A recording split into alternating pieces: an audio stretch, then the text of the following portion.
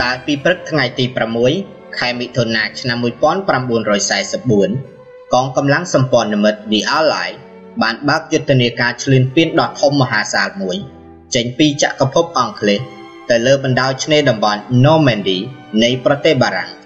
ដែលកាលនោះបារាំងស្ថិតក្រោមការគ្រប់គ្រងរបស់អាល្លឺម៉ង់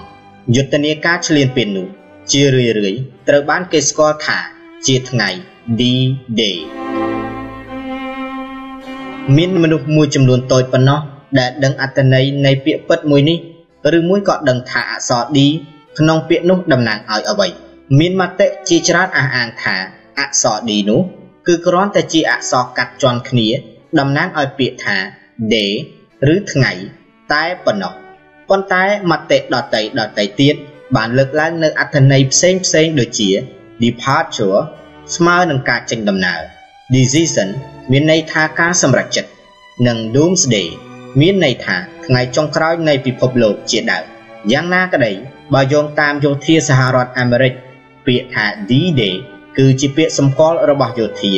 ប្រើសម្រាប់បង្ហាញពីថ្ងៃចាប់ផ្ដើមប្រតិបត្តិការណាមួយ ក្នុងករណីនេះអក្សរ D ក្នុងពាក្យថា D-Day តាមពិតទៅมันមានអត្ថន័យអ្វីទាំងអស់យោធាអាមេរិក ប្រើពាក្យមួយទៀតគឺ H hour ដើម្បីសំដៅទៅលើពេលវេលា ដែលប្រតិបត្តិការត្រូវចាប់ផ្ដើមនៅថ្ងៃ D-Day ការធ្វើបែបនេះគឺជួយមិនឲ្យការបរិច្ឆេទពិតប្រាកដនៃប្រតិបត្តិការធ្លាក់ទៅក្នុងដៃអ្នកស៊ើបការរបស់សត្រូវហើយវាក៏ល្អសម្រាប់នៅពេលដែលការបរិច្ឆេទពិតប្រាកដនៅមិនទាន់ត្រូវបានកំណត់ថែមទៀតផងក្រុមអ្នករៀបគម្រោងយោធាក៏ប្រើប្រាស់សញ្ញាបូក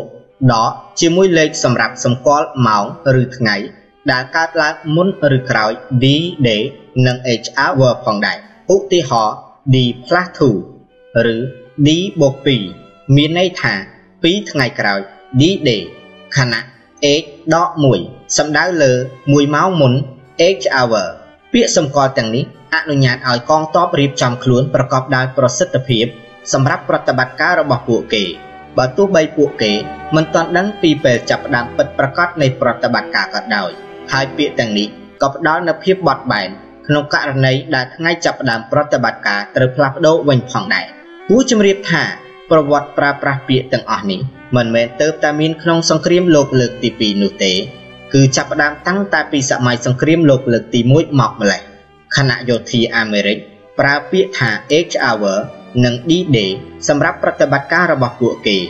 ប្រទេសដទៃទៀតក៏មានពាក្យផ្ទាល់ខ្លួនរបស់ពួកគេដែរក្នុងសង្គ្រាមលោកលើកទី1បារាំងបានប្រើប្រាស់ពាក្យថា Le Jour ដែលស្មើនឹង D-Day របស់សហរដ្ឋអាមេរិក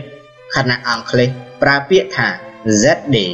និង Zero Hour ជិតមួយឆ្នាំក្រោយប្រតិបត្តិការឈ្លានពានឆ្នេរតំបន់ Normandy គឺនៅថ្ងៃទី8ខែឧសភាឆ្នាំ1945ក្រុមសម្ព័ន្ធមិត្ត The Ally បានទទួលយកការចោះចាញ់ដ៏ឥតលក្ខខណ្ឌរបស់អាល្លឺម៉ង់ជាផ្លូវការនាំទៅរកការបិទបញ្ចប់សង្គ្រាមលោកលើកទី2លើឪពុកទ្វីបអឺរ៉ុប។